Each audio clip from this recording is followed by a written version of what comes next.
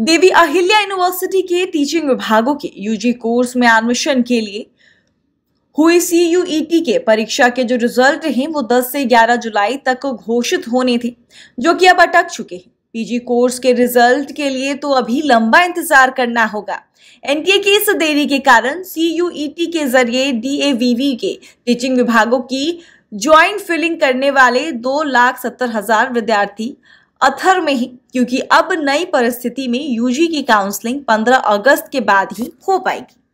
PG counselling 15 सितंबर तक होगी। Result और फिर काउंसलिंग का इंतज़ार लगभग 60 प्रतिशत छात्र कर रहे जिनका पर्चा ठीक या अच्छा रहा। डीएवीवी में यूजी में 1500 और पीजी में 1250 के आसपास सीटें हैं, यानी एडमिशन 2750 छात्रों को ही मिल पाएगा।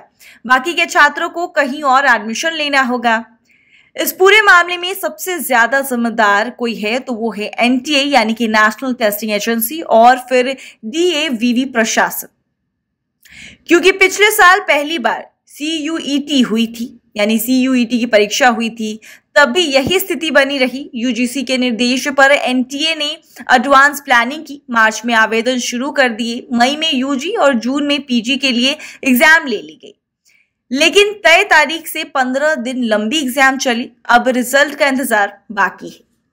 यूजी कोर्स के लिए एक लाख तिरासी हज़ार विद्यार्थियों ने रजिस्ट्रेशन कराया था। करीब 80 प्रतिशत ने परीक्षा दी थी।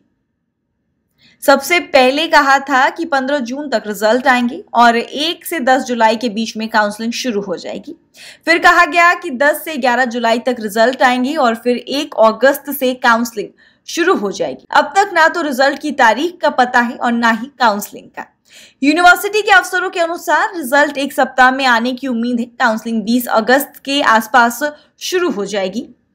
पीजी के लिए करीब सतासी हज़ार विद्यार्थियों ने रजिस्ट्रेशन कराया था। इनमें से 90 प्रतिशत ने परीक्षा दी। इसका अब तक रिज़ल्ट ही नहीं आया। यूनिवर्सिटी से बताया जा रहा है कि पीजी का रिज़ल्ट 31 जुलाई तक आएगा। इसके पाँच दिन के बाद एनटीए रैंकिंग भेजेगा।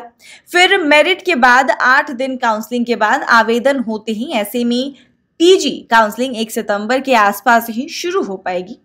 तब तक इंदौर के बासठ कॉलेजों में एमबीए की काउंसलिंग खत्म भी हो जाएगी।